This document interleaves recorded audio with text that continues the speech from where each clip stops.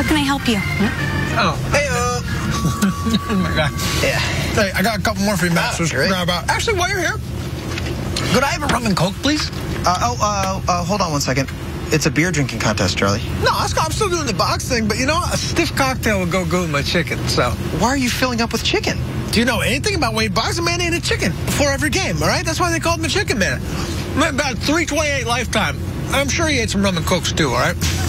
you just said eight rum and cokes. You're getting a little buzz. You shouldn't be drinking hard alcohol. I said one rum and coke. Just one, please. Make it double, though.